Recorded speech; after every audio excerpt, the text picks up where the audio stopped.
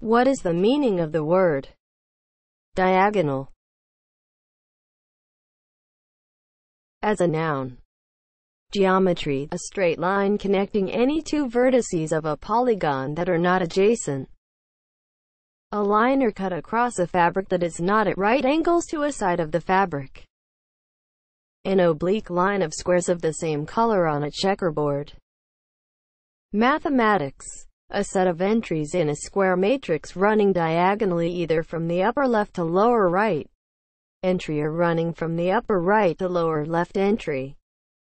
Examples of use. The bishop moves on the diagonals. Diagonal is spelled D I A G O N A L. Diagonal